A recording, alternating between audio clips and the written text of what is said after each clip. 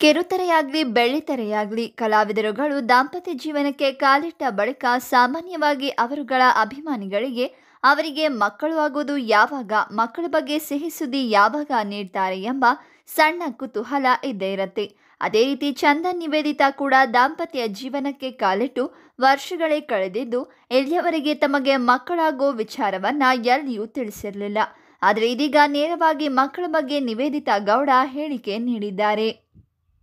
ಹೌದು, ಸಾಮಾಜಿಕ ಜಾಲತಾಣದಲ್ಲಿ ಬಹಳ ಆಕ್ಟಿವ್ ಆಗಿರುವ ನಿವೇದಿತಾ ಗೌಡ ಅವರು ತಮ್ಮ ಅಭಿಮಾನಿಗಳ ಕಾಮೆಂಟ್ಗಳಿಗೆ ಆಗಾಗ ರಿಪ್ಲೈ ಮಾಡೋದುಂಟು.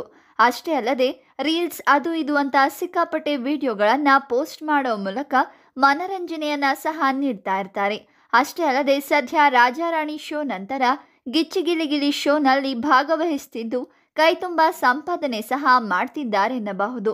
ಇನ್ನು ಇತ್ತ ಇಷ್ಟು ದಿನ ಸಂಗೀತ ನಿರ್ದೇಶಕನಾಗಿದ್ದ ಚಂದನ್ ಶೆಟ್ಟಿ, ಇದೀಗ ನಾಯಕನಾಗಿಯೂ ಸಿನಿಮಾ ಇಂಡಸ್ಟ್ರಿಗೆ ಎಂಟ್ರಿ ಆಗಿದ್ದು, ಸದ್ಯದಲ್ಲೇ ಸಿನಿಮಾ ದೊಡ್ಡ ಪರದೆಯಲ್ಲಿ ಬಿಡುಗಡೆಯಾಗಲಿದೆ.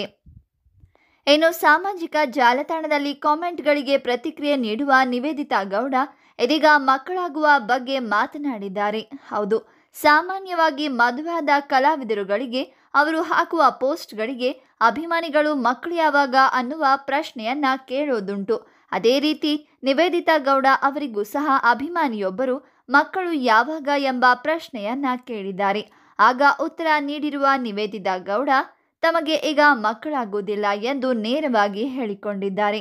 ಒಟ್ಟಿನಲ್ಲಿ ಹತ್ತು ವರ್ಷ ವಯಸ್ಸಿನ ಅಂತರ ಇರುವ ಚಂದನ್ ಶೆಟ್ಟಿ ಅವರನ್ನ ಚಿಕ್ಕ ವಯಸ್ಸಿಗೆ ಮದುವೆಯಾದ ನಿವೇದಿತಾ ಗೌಡ ಸದ್ಯಕ್ಕಂತೂ ಮಕ್ಕಳಾಗುವುದಿಲ್ಲ ಮುಂದೆ ನೋಡೋಣ ಅನ್ನುವ ಮಾತುಗಳನ್ನಾಡಿದ್ದು ಸದಾ ಒಂದಿಲ್ಲೊಂದು ವಿಚಾರಕ್ಕೆ ಆಗಾಗ ಸುದ್ದಿಯಾಗುವ ನಿವೇದಿತಾ ಚಂದನ್ ಜೋಡಿ, ಇದೀಗ ಮಕ್ಕಳ ವಿಚಾರಕ್ಕೆ ಸುದ್ದಿಯಾಗಿದ್ದು ಟ್ರೋಲ್ ಆಗುವ ಎಲ್ಲ ಲಕ್ಷಣಗಳು ಕಾಣ್ತಾ ಇದೆ ಎಂಬುದೇ ಅಷ್ಟೇ ಸತ್ಯ. ಈ ಬಗ್ಗೆ ನೀವೇನು ಹೇಳ್ತೀರಾ? ನಿಮ್ಮ ಅನಿಸಿಕೆಗಳನ್ನು ಕಾಮೆಂಟ್ ಮಾಡಿ. ಹಾಗೆ, ಈ ವಿಡಿಯೋವನ್ನು ಲೈಕ್ ಮಾಡಿ, ಶೇರ್ ಮಾಡಿ. ಹಾಗೆ ನಮ್ಮ ಚಾನೆಲನ್ನು ಸಬ್ಸ್ಕ್ರೈಬ್